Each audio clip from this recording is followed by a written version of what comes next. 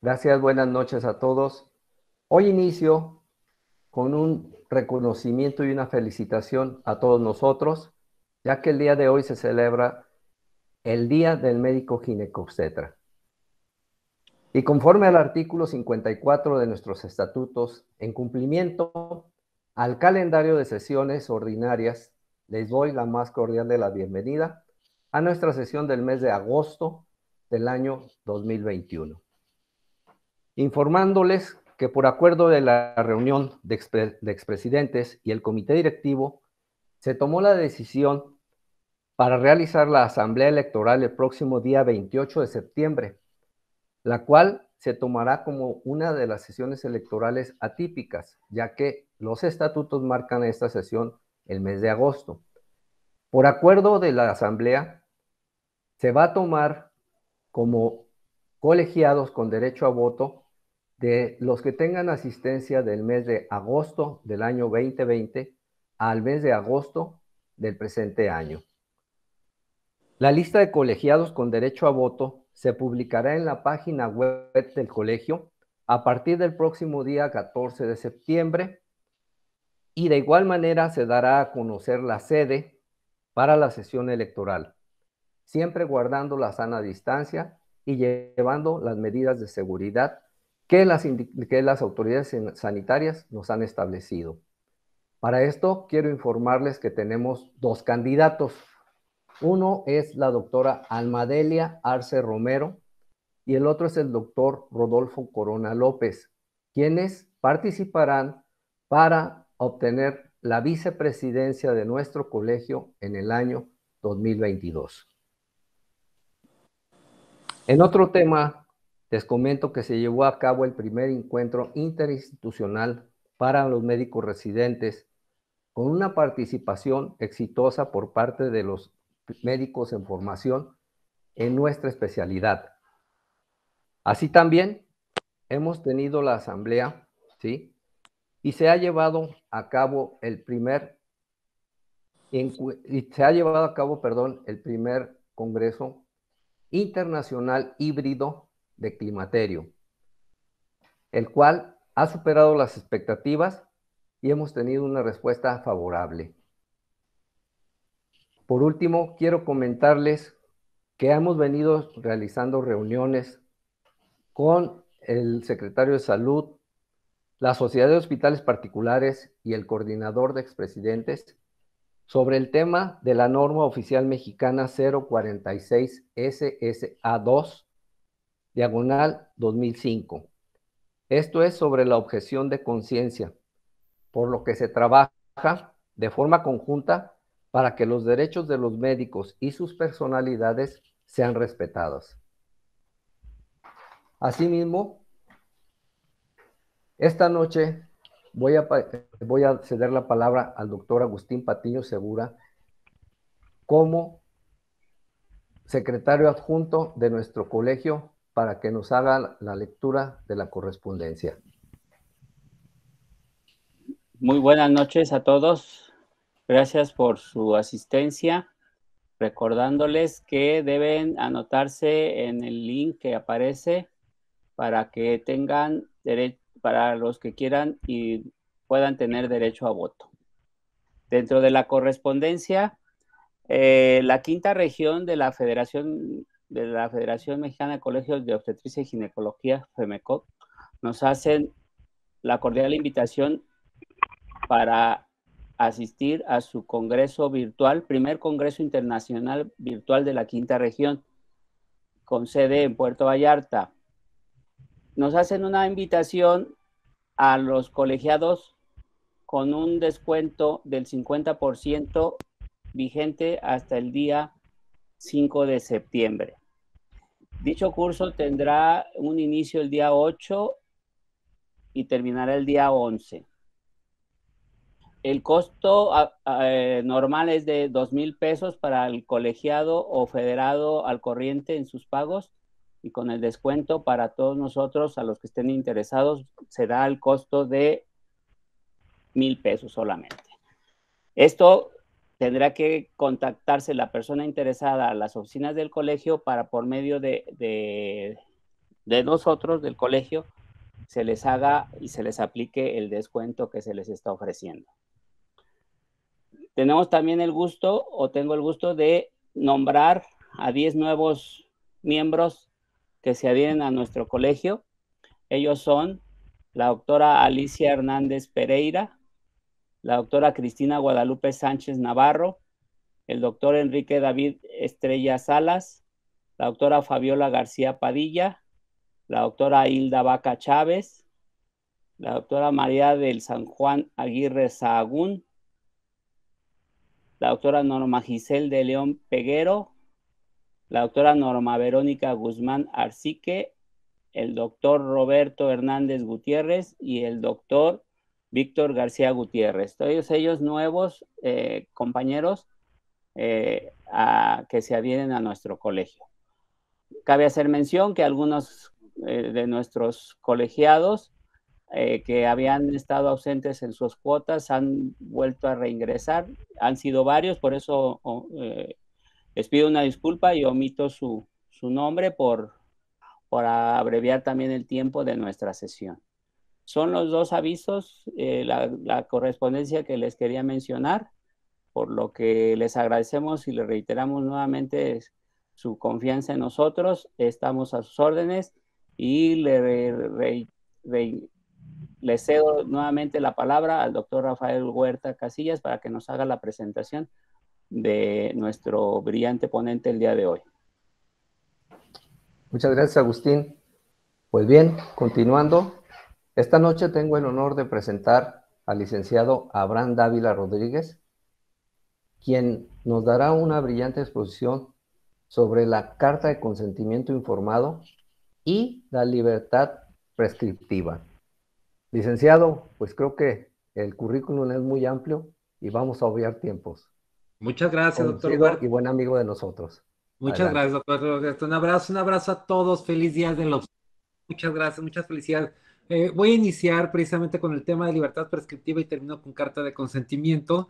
Eh, eh, les voy a pedir que estén muy atentos, principalmente en la primera parte, porque vamos a presentar, les voy a pedir una pequeña encuesta, no una encuesta, una participación a esta plática sobre qué es libertad prescriptiva. Bueno, yo quiero comentarles de dónde nació el tema o por qué médicamente tenemos el tema libertad prescriptiva a nuestra práctica como obstetras. Yo me encuentro que en todos los congresos médicos llego, entro a, las sesiones de todas las especialidades y me encuentro que dicen, esto de ahora en adelante se va a hacer así, esto de ahora en adelante se va a hacer de tal y cual forma, y no lo veo mal pero es difícil poder administrar siempre el mismo tratamiento en todos los pacientes. Y les voy a platicar qué pasó. Es un caso, es un médico de una paciente, eh, no en la especialidad de obstetricia, pero quiero que lo, que lo pasemos a la especialidad de obstetricia. Es una paciente eh, de bariátrica que eh, no conforme con, con el resultado de la cirugía de bariatría presenta una reclamación en contra del cirujano hay una norma oficial mexicana que de la cirugía bariátrica, así como la 07 de la atención de la mujer durante el embarazo puerperio, en donde en esta norma oficial, la 08, entonces era la 174 de la bariatría, de los procedimientos quirúrgicos de obesidad, establecía o establece incluso todavía esta nueva norma, que para la realización de este tipo de procedimientos se requiere la participación previa de al menos cinco especialistas. Esto es no solamente el cirujano, sino también un psicólogo, un endocrinólogo, un nutriólogo, entre otros médicos, y que juntos determinen si ese paciente es candidato o no a la cirugía bariátrica. Eh, la reclamación de que hace esta paciente, ah, bueno, y otro de los requisitos, ese es uno de los requisitos, otro de los requisitos que contempla la norma es que para eh, ser sujeta a esta cirugía se requiere tener un índice de masa corporal determinado, tener un grado determinado de obesidad. Como ustedes saben, todas las normas oficiales mexicanas son obligatorias. Sí, obligatorias, así como la 07 de la, de la atención de la mujer durante el parto, eh, durante el embarazo, parto puerperio. Esta también es obligatoria. En ese sentido, la reclamación de la paciente se basa en dos puntos. Dice, yo nunca fui valorada por un grupo multidisciplinario. El único que médico que me valoró fue el cirujano general. Y además, no tengo el índice de masa corporal que establece la norma. Entonces, ni siquiera era candidata a esa cirugía. Este, este, estos argumentos que presenta en la demanda, yo les hago una pregunta, ¿cómo creen que el juez hubiese resuelto, el juez de primera instancia?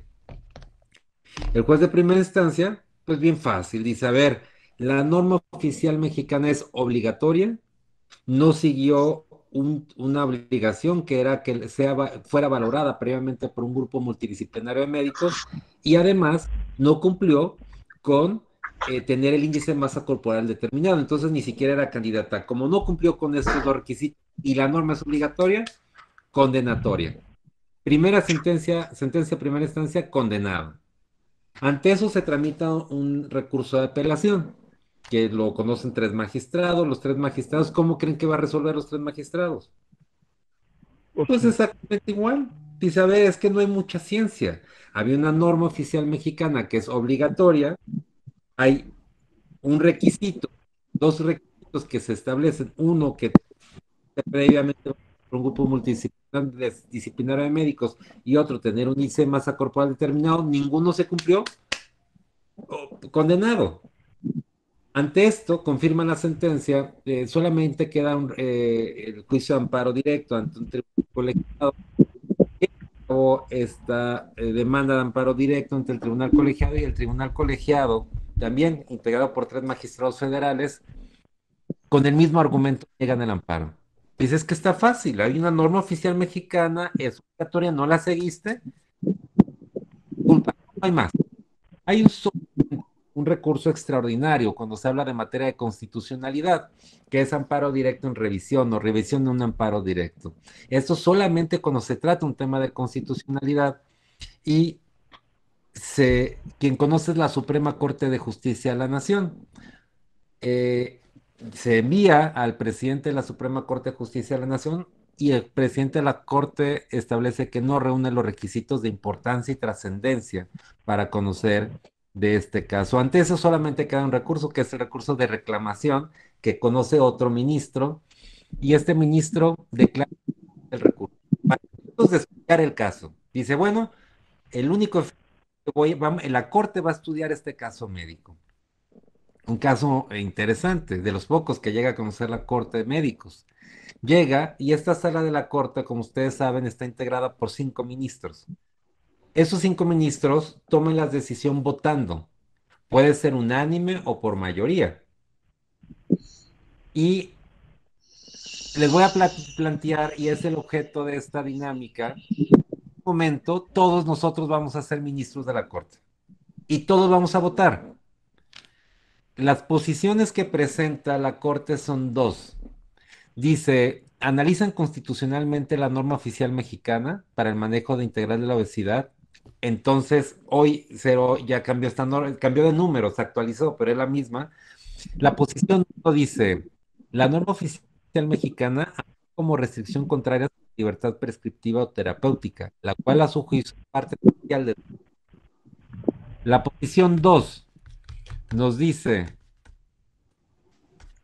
aquí me, a ver, la posición dice, la libertad prescriptiva no es parte esencial del referido derecho, sino que la norma oficial mexicana funge como criterio orientador de la profesión médica. Estas son las dos posiciones que tiene la Corte. Entonces, yo les voy a lanzar esta pregunta. ¿La tienen ahí, verdad? ¿Sí la tienen? ¿Sí no. la tienen? Sí, adelante, licenciado, gracias. ¿Sí ya la tienen o todavía no? Sí, correcto, en pantalla. Ya la tienen en pantalla. Ahora sí ustedes tienen que votarle por cuál votarían, si por la 1 o por la 2.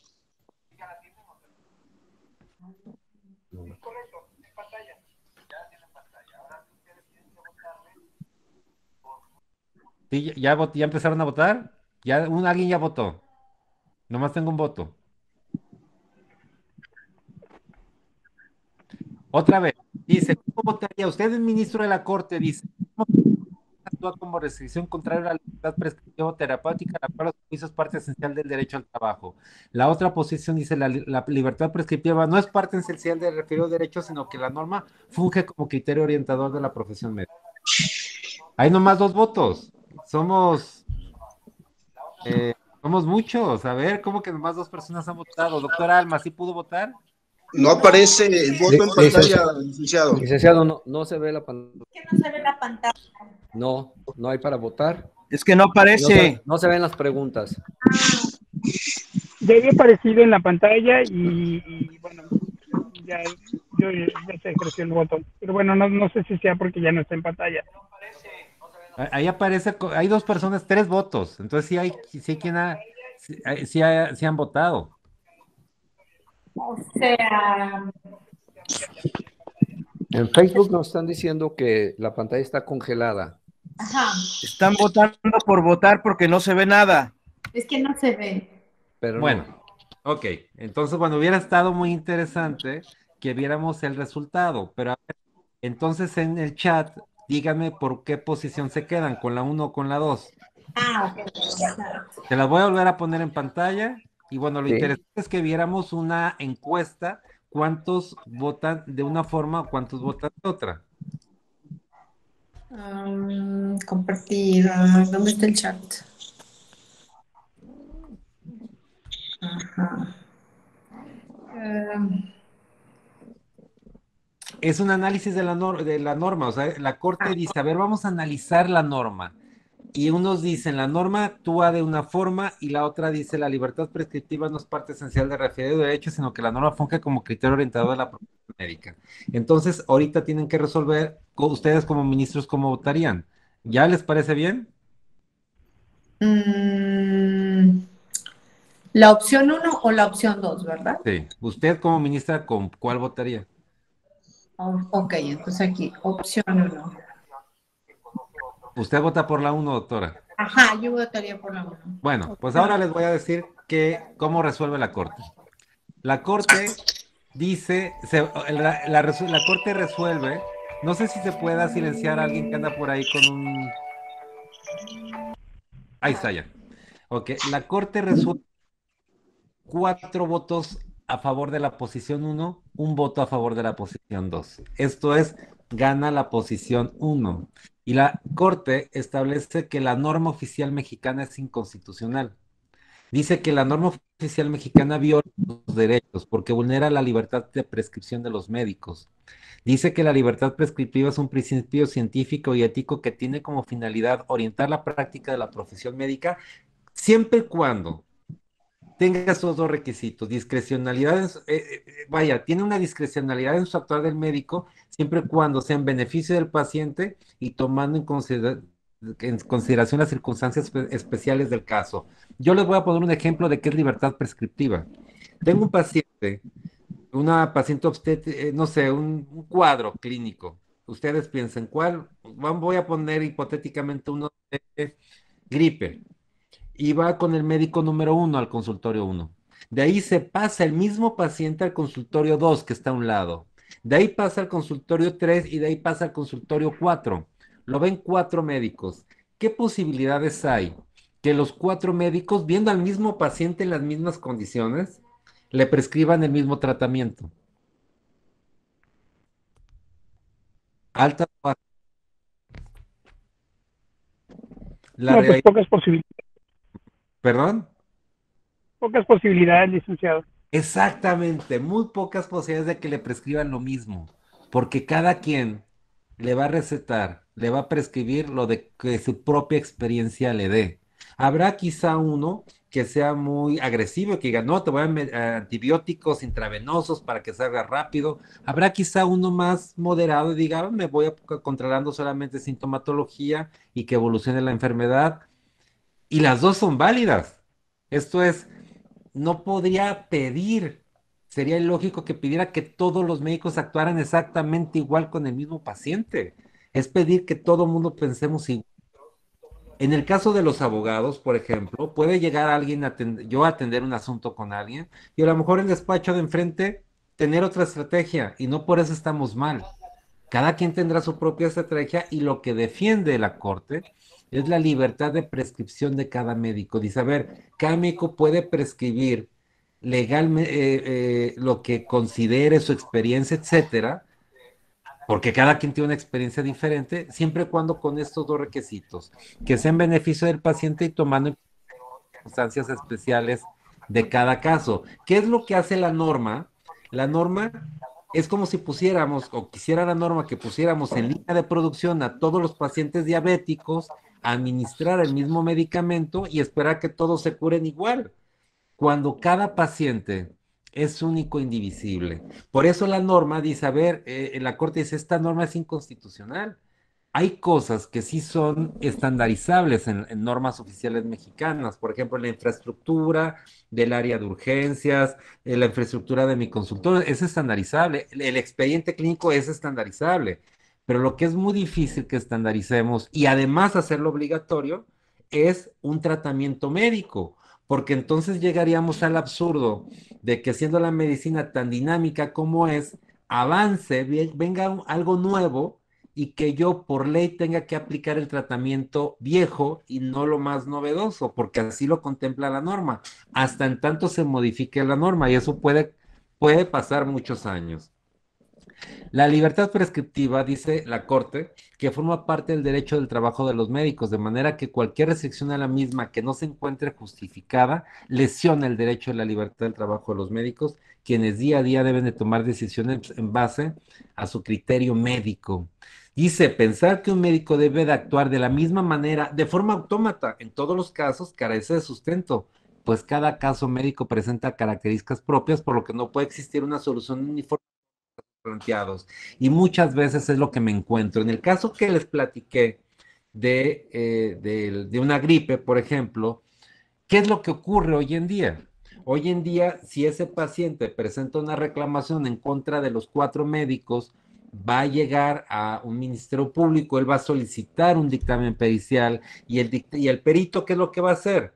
Va a decir, ah, a ver, cada uno dio un tratamiento diferente, de acuerdo a la norma oficial mexicana, el único que se apegó a esta norma fue el médico número 3. Por lo tanto, el médico 1, 2 y 4 son responsables. A ver, a ver, a ver, a ver. Yo seré responsable porque no apliqué lo que tú querías. Eso es pensar que todos tendríamos que actuar de la misma manera siempre y resolver los temas de la misma manera, cuando eso es imposible. Yo seré responsable si no cuidé el beneficio del paciente tomando en consideración las circunstancias del caso, pero no porque haya tomado una decisión diferente a la tuya, porque eso, pues ese fue mi criterio. Eh, por ejemplo, en este caso, dice que la norma es, es inconstitucional porque de esta manera habrá casos de pacientes. Y a ver, ¿por qué ponen un índice de masa corporal de tanto a tanto? ¿Qué tal si hay alguien que tenga un índice corporal de masa corporal menor o mayor y que también requiere una cirugía gástrica, ya no, ya no le, le afectas esta decisión. Ahora, el tema del, del, equipo multidisciplinario que habla la norma, dice, impone una carga excesiva a los médicos, porque nunca establece si esa decisión tiene que ser unánime por mayoría simple, lo que vulnera el derecho al trabajo de los médicos. Quien toma la decisión es el médico cirujano, a tomando en consideración todo lo demás, pero él es el que la toma.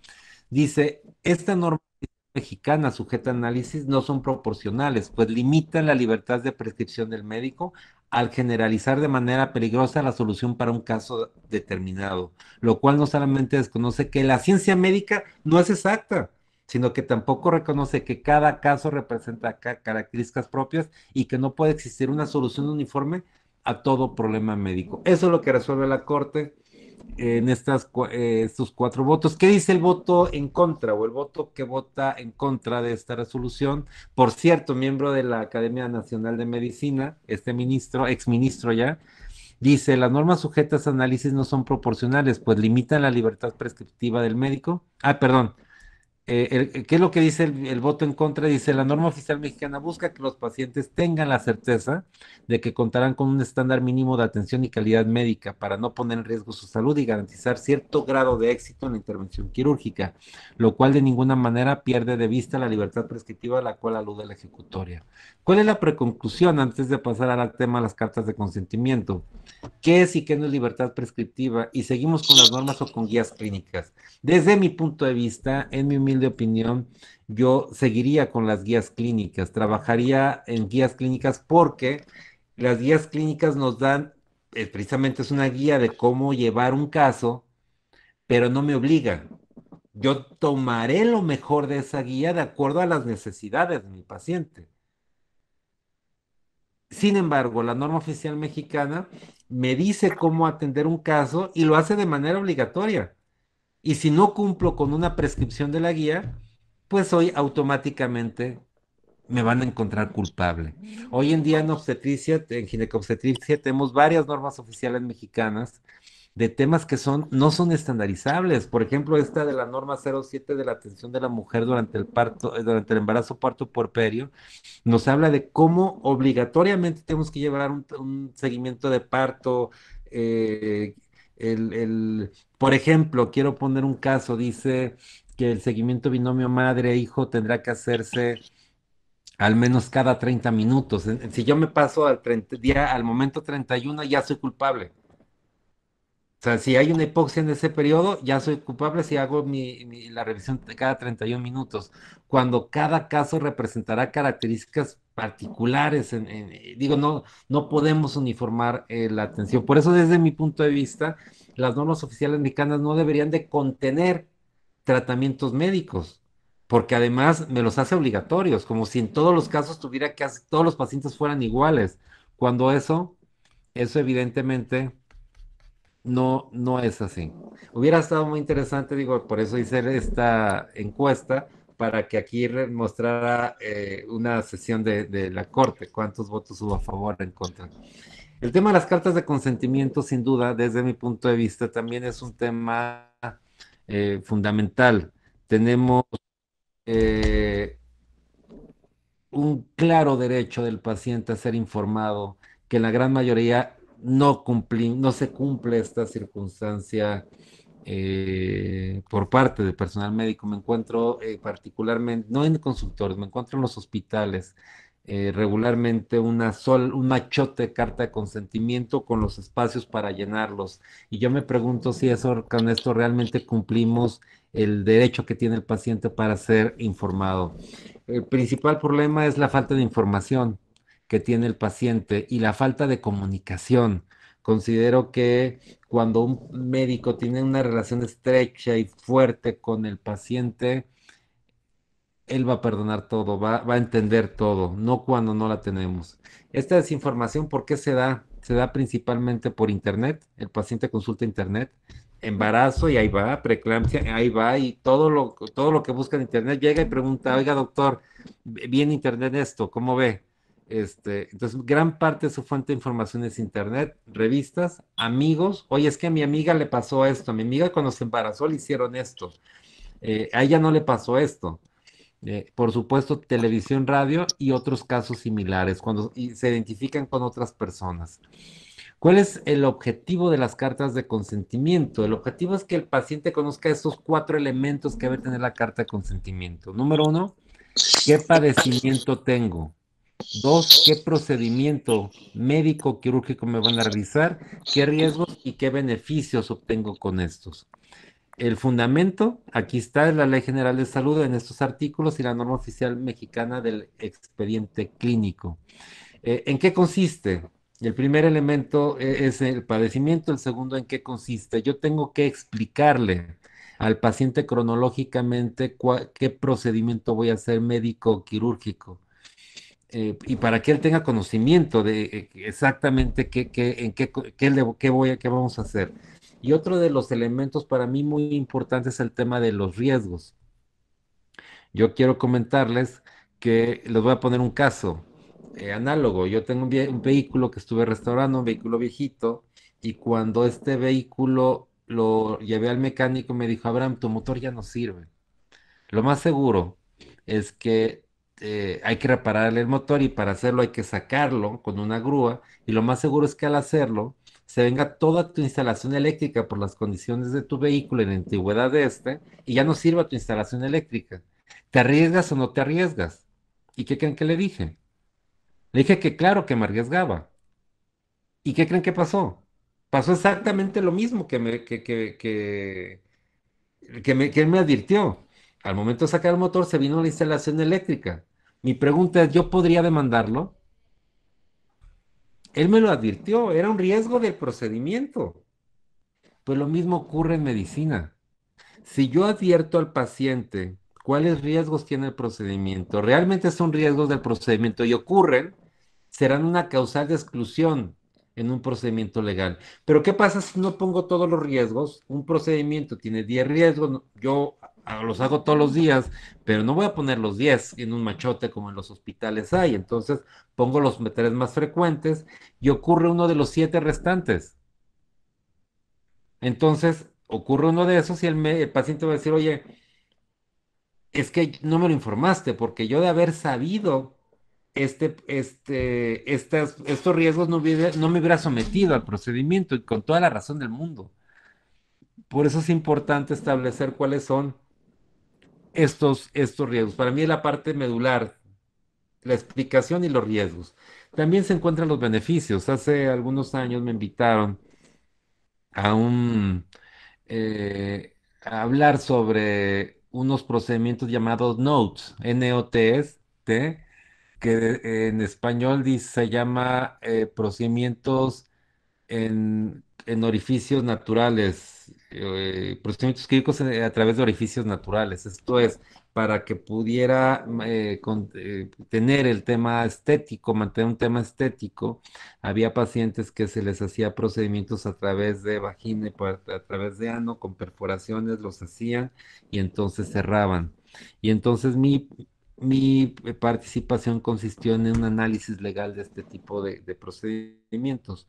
Y bueno, mi experiencia o mi opinión en el caso particular es de que una característica de, para no tener un problema legal es que los beneficios siempre tienen que ser mayor que los riesgos. Por eso cuando yo hago una incisión a un paciente en cirugía, a pesar de que estoy haciendo una lesión, bueno, es una lesión, pero es mayor el beneficio que se obtiene, por ejemplo, en una cesárea, comparado con el nacimiento de un bebé comparado con la lesión que yo estoy ocasionando.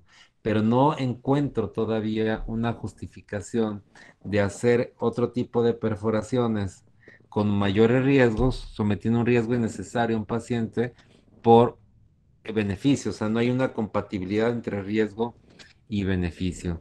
Un tema también que lamentablemente no anotamos y que es fundamental el, señalar en la carta de consentimiento cuáles son los cuidados posquirúrgicos. Hoy en día me encuentro que nuestro contrato de prestación de servicios profesionales que existe, aunque no lo firmemos entre el paciente y el médico, se generan derechos y obligaciones para ambos.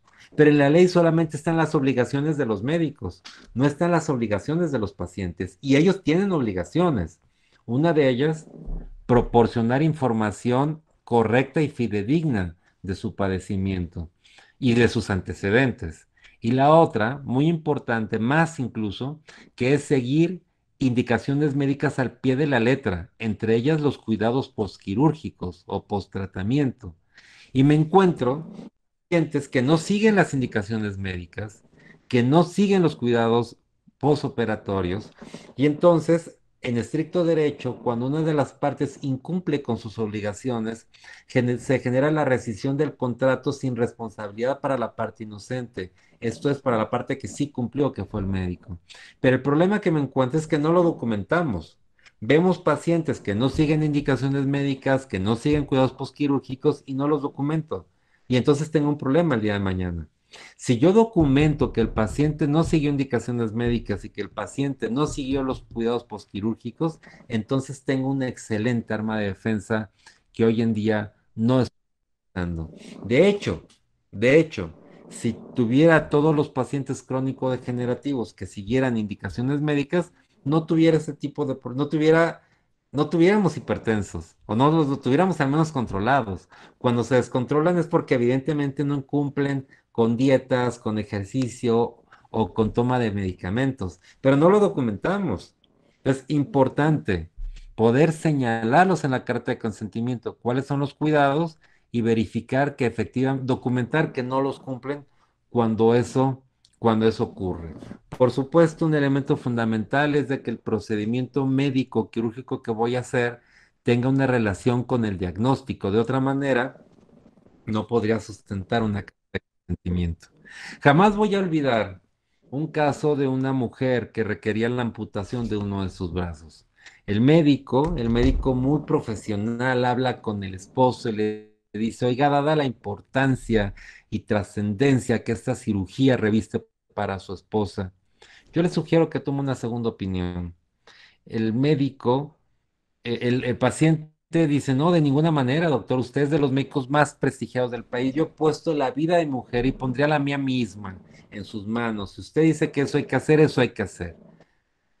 ¿Qué tenía que haber hecho el médico? Pues recaba la carta de consentimiento y después viene una reclamación fundada y procedente de la paciente. Decía, bueno, ¿y quién es mi marido para decidir el destino en mi brazo? tenía toda la razón del mundo.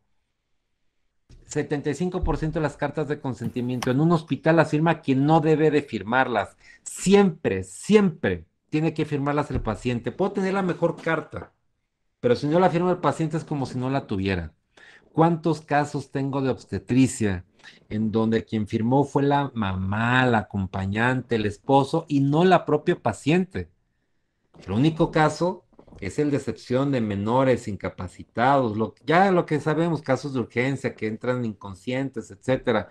Pero no hay mucho, o sea, hay muchos procedimientos selectivos donde no tenemos el cuidado que firme el paciente.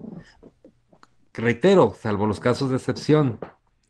Tampoco voy a olvidar un Congreso Nacional de Anatomía Patológica. Estaba terminando mi sesión y al terminar mi sesión se para del fondo de las, del salón una mujer, una doctora, una patóloga, empieza llorando platicar, a platicarnos su caso, un caso desgarrador. Ella es jefa de su servicio de patología en un hospital público de los servicios de salud de su estado en el Bajío y tienen un caso de una muerte materna. Ustedes saben que de acuerdo a un, tratado internacional hay un, compromiso y una recomendación también de la Corte Interamericana de Derechos Humanos, un compromiso del gobierno mexicano de sesionar desde hace muchos años los casos de muerte materna o muerte infantil. En este caso se reúne el Comité de Muerte Materna Infantil y no detectan, no saben cuál fue la causa por la que muere esta, esta madre. Ante esta circunstancia, el comité sugiere la realización de una necropsia para una necropsia hospitalaria y conocer cuál fue la causa de la muerte. El, el, director del hospital le, le pide a la doctora que pase a la paciente para esta necropsia y que él se, encarga, se encargaría de obtener el, consentimiento informado del familiar correspondiente. Eh, la doctora, haciendo caso a esta indicación, procede a, este procedimiento médico, a este procedimiento de necropsia. El director del hospital sí obtiene la carta de consentimiento. Él recuerda que el que estaba atento y pendiente de la paciente era precisamente su, su papá, el padre de, la, de esta mujer, de esta madre, y él es el que recaba, el que otorga el consentimiento para este procedimiento. Sin embargo, sin embargo, nunca verificó ni el director ni la doctora, que fue quien realizó el procedimiento y a quien correspondía esta obligación, nunca verificó que era una mujer casada. En su historia clínica refería a ser una mujer casada y como tal el único que tenía la facultad o atribución para otorgar el consentimiento era precisamente el esposo y no el papá. Ante esto, el esposo presenta una demanda civil por daño moral, por un monto muy importante en contra de la doctora, señalando que él, siendo de una religión determinada que prohibía la manipulación del cadáver, le había causado un daño a él y a su familia. Y decía que la doctora, gracias a la doctora, ella era, perdón, más bien la doctora era culpable de que su mujer no hubiera ascendido al cielo por motivos religiosos. Y esa demanda fue procedente. Eh, y bueno, nos platicaba la doctora el tema con mucha angustia. Eh, y bueno, es uno de los temas que tenemos que aprender de esta circunstancia. Me encuentro también eh, un tema muy importante en, ginecología y en obstetricia. Un tema que en el que me desgarra también el tema de las cartas de consentimiento. Hoy en día, eh, ustedes saben, hay una norma oficial mexicana que tenemos que trabajar, digo, que la comunidad médica, los ginecobstétricos, tenemos que trabajar en estos temas que pueden afectar. Hay una norma oficial mexicana de los servicios de planificación familiar. Esta norma oficial mexicana contempla cuáles son los, entre otros, los métodos anticonceptivos y, cuáles son los definitivos en hombre y en mujer. Establece el, el de hombre vasectomía, el de mujer eh, salpingoclasia o, o, OTB. Y yo les quiero hacer una pregunta. Primero, ustedes la responden. ¿Cuántos han leído esta norma oficial mexicana? Digo, la responden a ustedes mismos. ¿Cuántos han leído esta norma oficial mexicana? Número uno. número dos, ¿quiénes, ¿quiénes en su OTB, en sus últimas cinco OTBs, han recabado solamente consentimiento informado? Y tres, ¿cuántos en sus últimas OTBs han firmado un acompañamiento para decidir la OTB? Porque de acuerdo a esta norma oficial mexicana, que reitero es obligatoria para todos los ginecobstetras, contempla que para eh, un, un tratamiento de anticonceptivo se llevará a cabo con el consentimiento normal. Pero además, en los casos de anticonceptivos definitivos como OTB y vasectomía, se requiere, además de la carta de consentimiento, documentar que ese paciente tomó más de una sesión de acompañamiento y consejería para tomar esa decisión.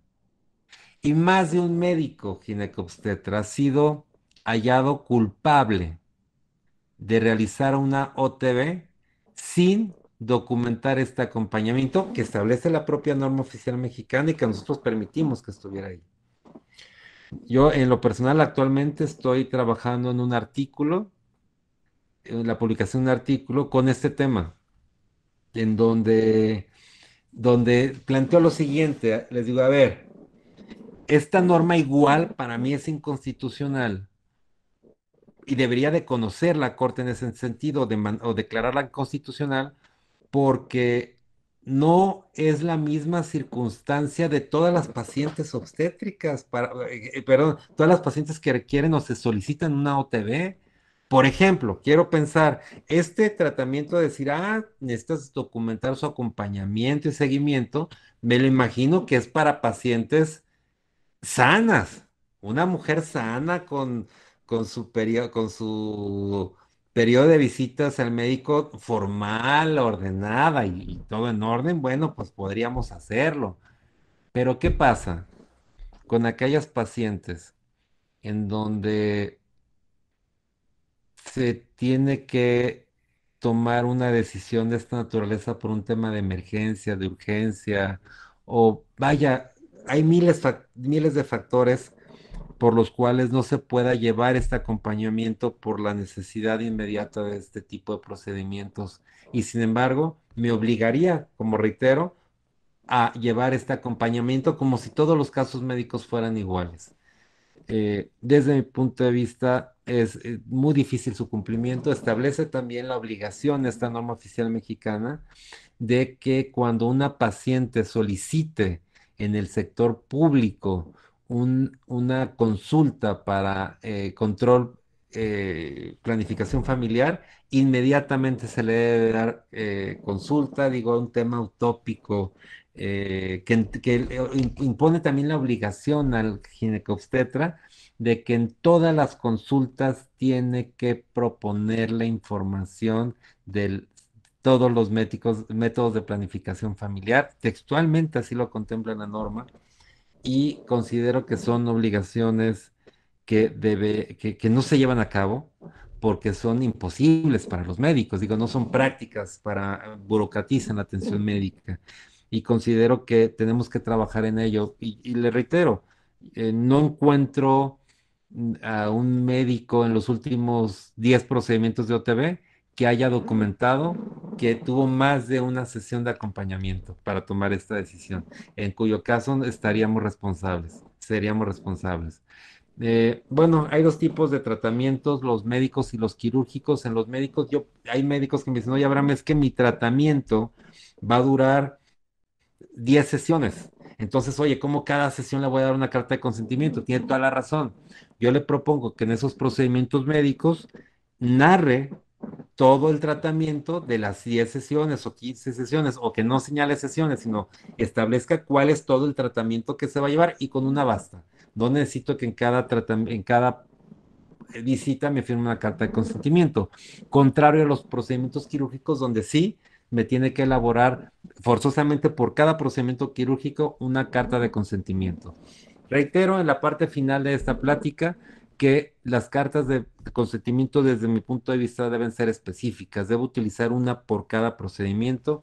Saben que aquí en el colegio se ha trabajado al respecto para tener solamente cartas de consentimiento informado, al menos de los procedimientos que más se llevan a cabo en ginecología y en obstetricia. Eh, están, están clasificadas las, las cartas de consentimiento con fines de diagnóstico, terapéuticos, rehabilitatorios, de procedimientos estéticos y para necropsias. Obviamente solamente los estéticos tienen la... Eh, obligan al resultado, a resultados, mientras que la medicina en general, como ustedes saben, eh, obliga al uso de medios, no a resultados, excepto en estéticos donde sí tengo que establecer exactamente a qué me comprometo y por supuesto existe la revocabilidad del documento siempre y cuando no se haya llevado a cabo. Hasta, antes de que se lleve puede ser revocado el consentimiento. Eh, me encuentro con un tema, me encuentro también con pacientes que no saben leer y escribir o pacientes que no, eh, sí, principalmente pacientes que no saben leer y escribir o que no pueden firmar, en cuyo caso la gran mayoría de los médicos me dicen que optan por poner la huella digital. Yo les digo, no hay ninguna disposición que hable de huellas digitales en la Ley General de Salud más que un área de trasplantes. Luego entonces, además suena lógico, ¿cómo le digo a mi paciente que no sabe leer y escribir que estampe su huella ahí? Pues se la va a estampar, no sabe leer y escribir, pues ahí la va a firmar, la va a estampar, pero no sabe qué dice.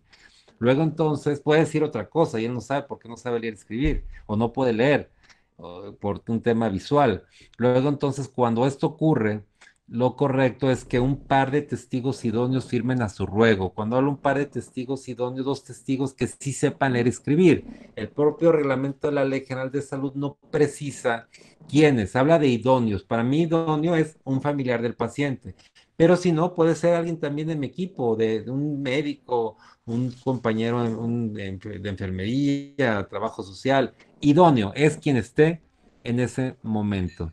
Como ustedes saben, también tenemos el, el, caso de las urgencias, es un caso de excepción, un caso de urgencia no requiere consentimiento, lo que requiere es que atendamos al paciente en ese momento. Ya me quiere ver que llega una paciente infartada que le diga, fírmeme para atenderlo, una, de una mujer con un sangrado profuso, pues no le voy a decir, fírmeme para atenderla, tengo que atenderla y tengo que justificar solamente que es una urgencia y que esté constado, por, que esté eh, exista constancia con el acuerdo de por lo menos dos médicos.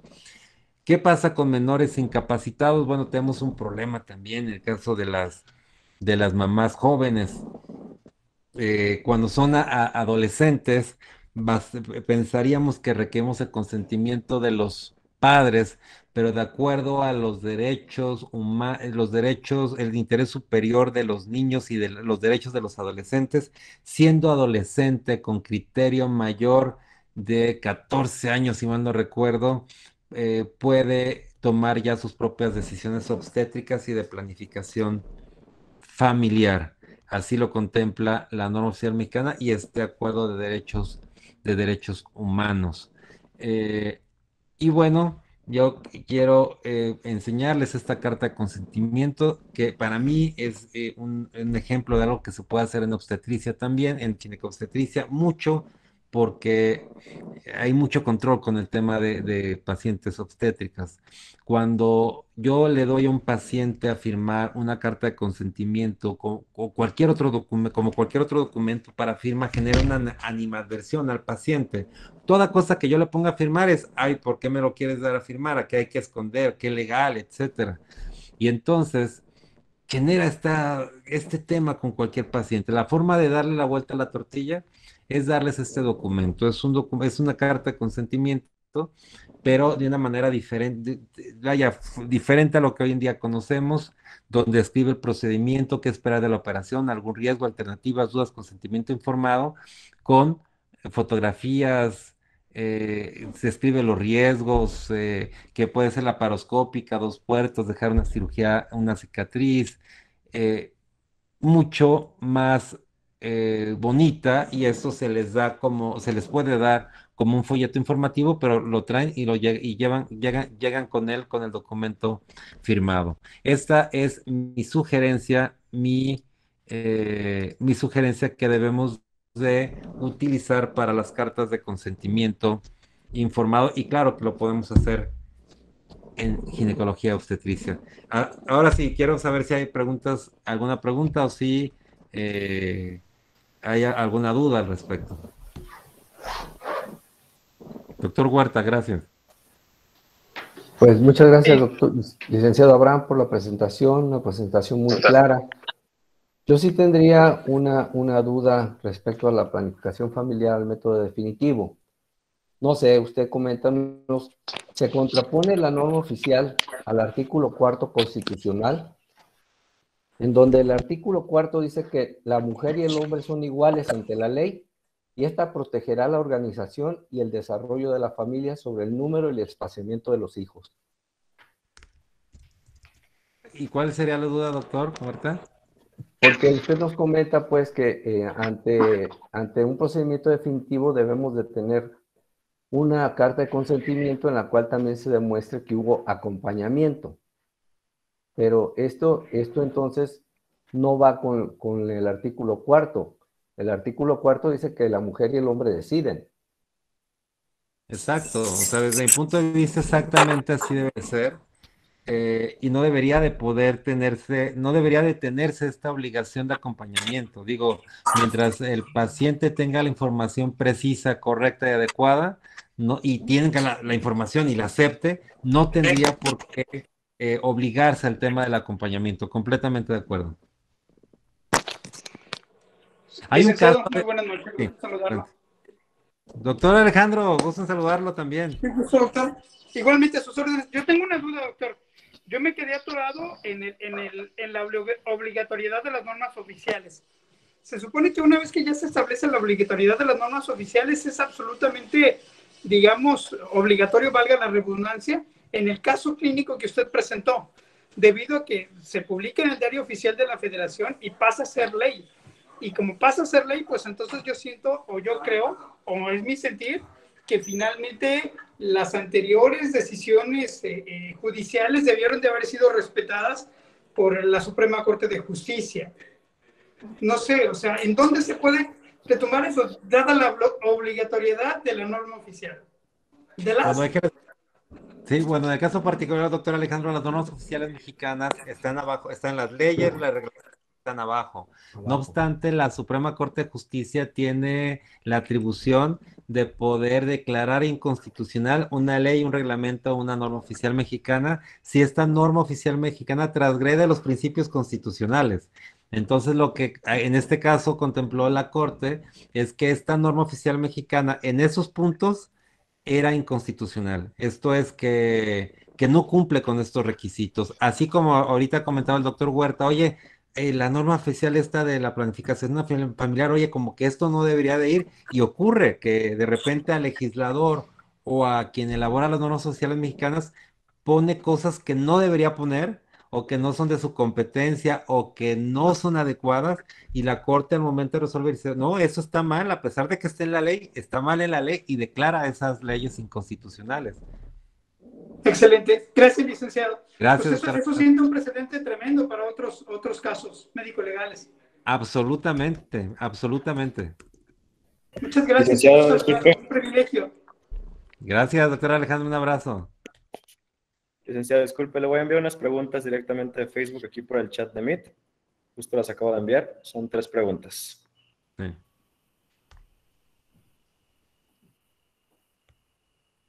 Ahí no veo. No las veo, Alejandro. Eh, ahí está ya. ¿Se las pueden leer? Ya, ya está, ya está, ya está. Dice. Ay, a ver, ¿es necesario tener un contrato de prestación de servicios profesionales en medicina privada? No, no es necesario. el contrato de prestación de servicios profesionales se da de manera automática, aunque sea verbal, existe, pero no es necesario tenerlo eh, físico. De hecho, eh, yo en lo personal no lo recomiendo porque genera esa falta de confianza que se da mucho en la, en la medicina en la medicina privada. Es necesario tener un la Profeco. ¿Perdón? ¿Otra vez? Dice, en caso de atención de menores de edad para parto, cesárea, alegrado, ¿quién firma el consentimiento informado? Si es una adolescente, ella puede firmar el consentimiento informado. No necesita el consentimiento de eh, de su padre o de su madre. Están en la carta, en la Declaración de los Derechos Generales de los Adolescentes. De hecho, de, acuerdo a esta norma oficial mexicana de planificación familiar, ellos tienen acceso a estos servicios de planificación familiar sin el acompañamiento de los padres. Es un tema eh, también controvertido, porque en estricto derecho la mayoría se adquiere a los 18 años. No obstante, pues es un, es un, es un criterio que ha estado eh, permanente, que siempre, puede ser en el caso de, adolescentes tomar servicios de planificación familiar menos, menos definitivos y por supuesto también otorgar su consentimiento para partos ilegrados y, y, y, este tipo de atención médica. Y en todo consentimiento como médicos debemos anotar el riesgo máximo como es la muerte. Las pacientes entonces pueden negarse a la firma. Procede entonces la información explicando qué es el riesgo máximo de absolutamente. Eh, bueno, en mi caso, siempre eh, hay que, el paciente tiene que tener toda la información y hay quienes incluso por un choque anafiláctico de una de un antibiótico. Entonces, eso lo tiene que saber el paciente. En la medida que el paciente esté informado y sepa que yo como médico no soy Dios, como médico soy un facilitador de una atención médica, vamos a tener menos problemas. Eh, doctor Leo Lagarde, muchas gracias. Un saludo también. Dice, ¿y cómo se hace constar ese acompañamiento pre-OTB en el expediente? ¿O en CIOC hay algún formato especial? No hay un formato especial que yo sepa, pero es documentarlo. Es, eh, eh, por ejemplo, el paciente acudió a consulta el día de hoy, y va, me pide su solicitud de una OTB por esa circunstancia y yo le explico cuáles son los riesgos, los beneficios y por qué es importante. Eh, yo tengo que explicar por qué sí es bueno para ella y, ella a su vez decide que al final se llega a la decisión que la OTB es la mejor decisión. Esto tuve que haberle demostrado todas las alternativas previas para poder llegar a esta conclusión. Eh, y al menos más de una sesión. Entonces tengo que al menos justificar dos consultas antes de, de, la, de la OTB. Eh, siempre parte del paciente, ah, ya me perdí, siempre o parte del paciente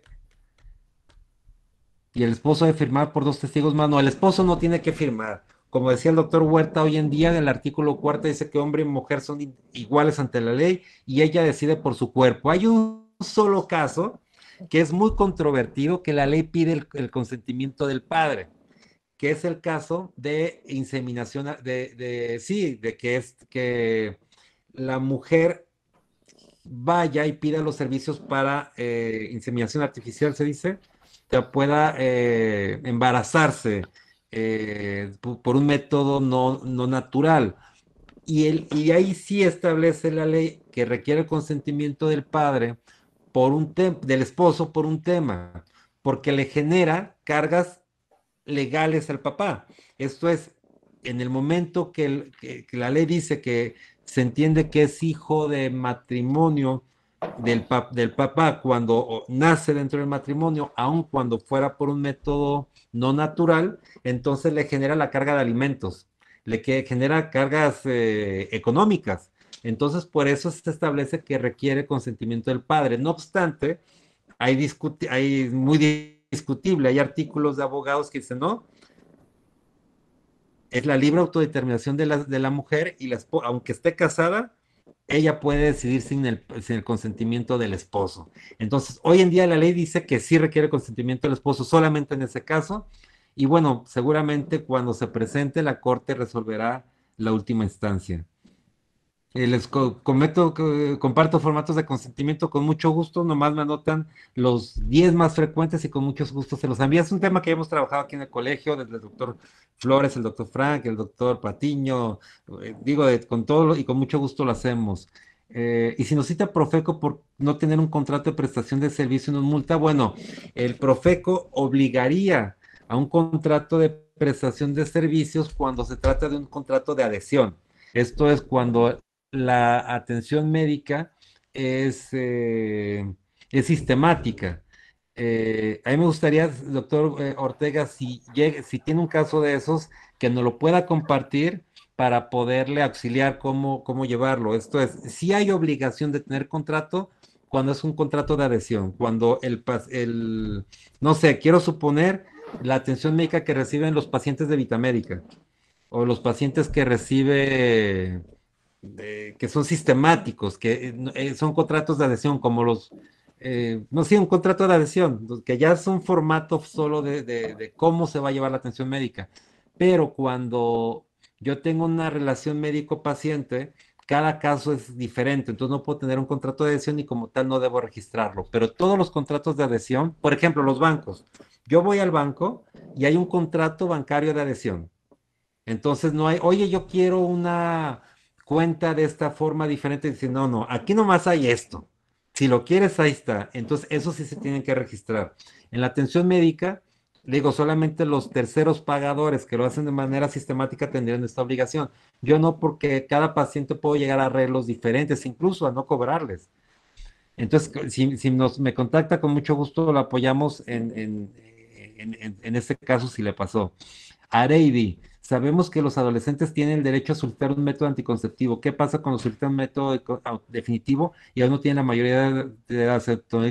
¿Necesita la autorización de un familiar? No, no se puede hacer. O sea, si es un método anticonceptivo, un ni, un, ni autorizándolo un familiar se puede hacer, a no ser que sea por causa médica, pero no por libre decisión, solamente mayores de edad. Ellos tienen derecho a anticonceptivos no definitivos.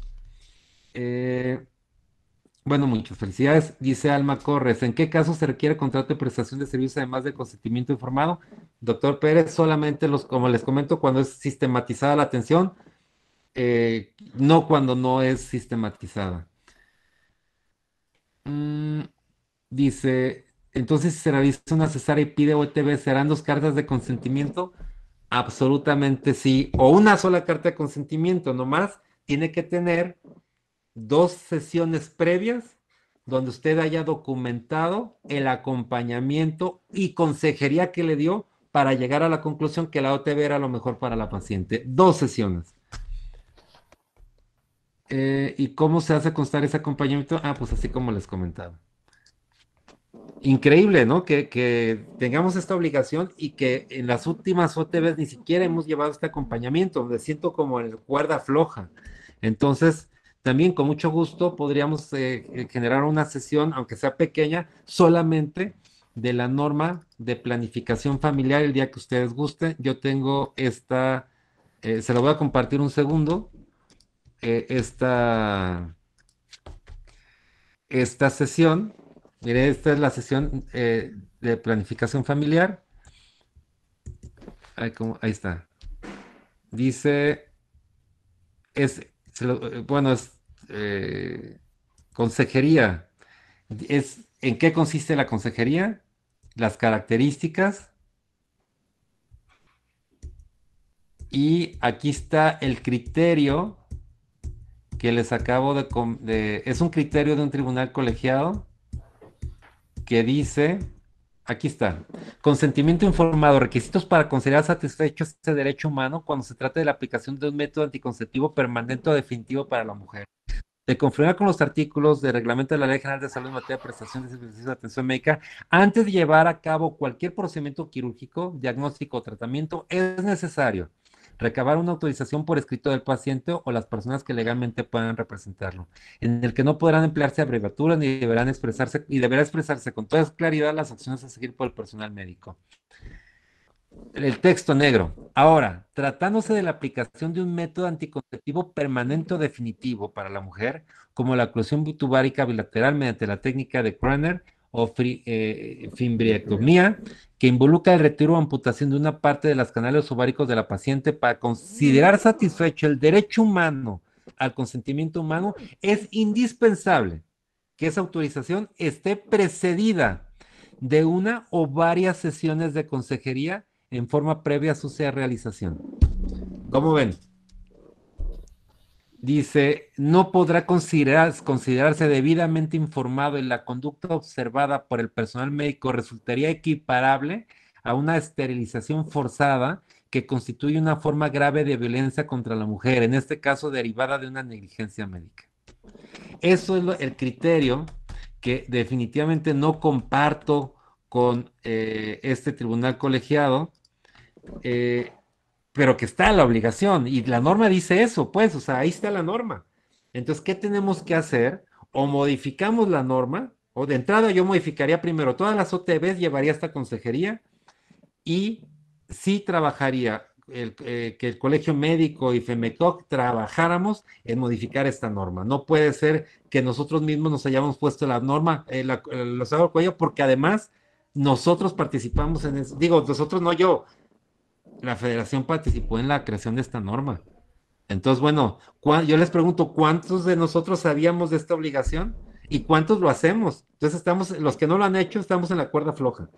Entonces, esa es mi participación, lo que tenemos que hacer.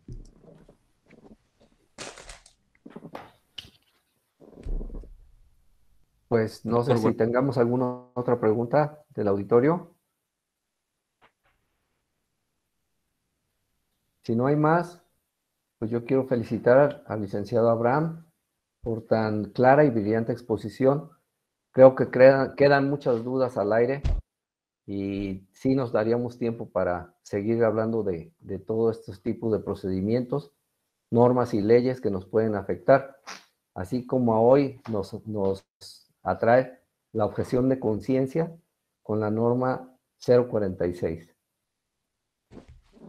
Es un tema hoy en día hay una controversia constitucional planteada por la Comisión Nacional de Derechos Humanos a la Corte, donde establece también equivocadamente, pero ahí está ahorita el planteamiento, para que los médicos no tengamos objeción de conciencia, alegando que está primero el derecho a la, bueno, una serie de cosas que también tenemos que participar, o sea, este tipo de cosas se van resolviendo sin la participación de la comunidad médica. Entonces, bueno, antes de que se resuelvan, tenemos que participar. Yo quisiera que incluso en cuanto supiera, en cuanto yo sepa en qué sala, qué sala la va a resolver y esté a punto de sesionarse, poder generar con el Colegio de Jalisco, que con siempre hemos trabajado, una cita en la Corte donde podamos exponer a los ministros, oye, ¿cómo que nos vas a quitar la objeción de conciencia? Si es un derecho también humano, de, o sea, ¿dónde, eh, tu argumento es el derecho humano del paciente y dónde está el derecho humano del médico? ¿No? Pues muchas gracias, licenciado. Sabemos que contamos con usted y vamos a seguir en contacto porque sigue esto, eh, este tema difícil, pero lo tenemos que, abordar como colegio y como sociedad médica. Claro que sí, cuente conmigo siempre. Muchas gracias por todo. Pues compañeros colegiados, muchísimas gracias. Quedamos al pendiente ya nada más para avisarles en dónde se va a realizar la sesión electoral. Gracias y buenas noches para todos.